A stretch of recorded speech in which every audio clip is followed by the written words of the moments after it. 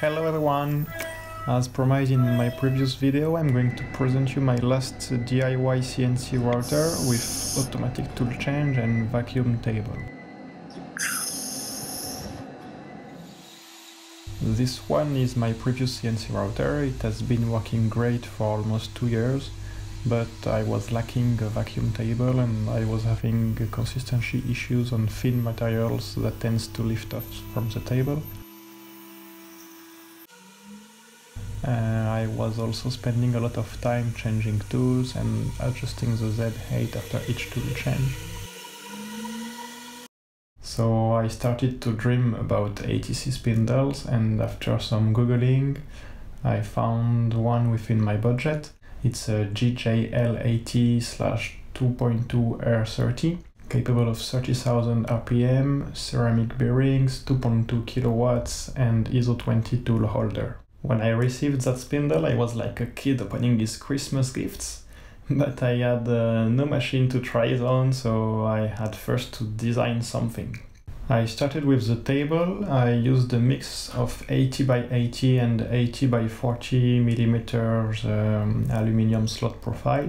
I wanted the machine to stand on the floor, so I added some legs and 45 degrees bracing. Then came the gantry, which was a 160 mm by 80 mm section. I wanted the gantry to extend on both sides so I could place additional tools on each side of the spindle and still get full table reachability. And finally the vacuum table made out of uh, three layers of MDF I started assembling the machine upside down and then when it was ready uh, we flipped it around. I used my old CNC router to mill all the custom plates, uh, custom aluminium plates needed for the rest of the build. And here I'm adjusting the, the height of the two gantry supports.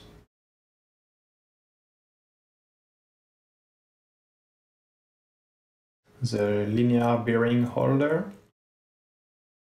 So there are two linear bearings on each side. And here the Y, one side of the Y axis moving by hand. I received my side channel blower used for the vacuum table and I was doing some tests to see the, the consumption with no load and at full load. It's uh, around 2.2 kilowatts at full load.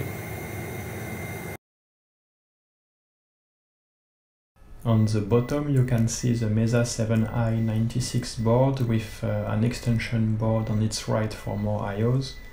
They are connected to the computer with the Ethernet cable. Then in the middle row you have 5 stepper drivers and one power line filter.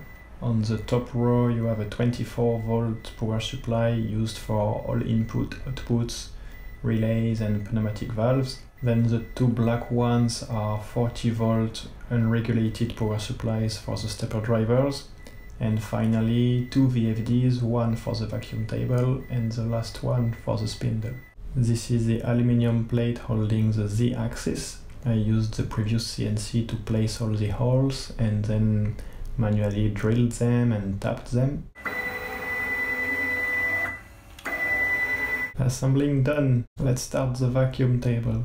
This is the first layer with three inlet ports distributing the vacuum over 24 ports. I used some PVC tubing to connect everything together. It's not even glued, it's just holes on its own. The upper layer distributes the vacuum for the 24 ports to all those little channels.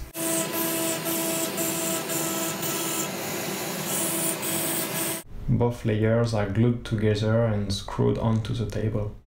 Those are all the fittings used for the pneumatics. There are 8 pneumatic valves in total, 4 on the top connected after an oiler and 4 on the bottom with just clean air. Leveling the table so it's flat relative to the spindle.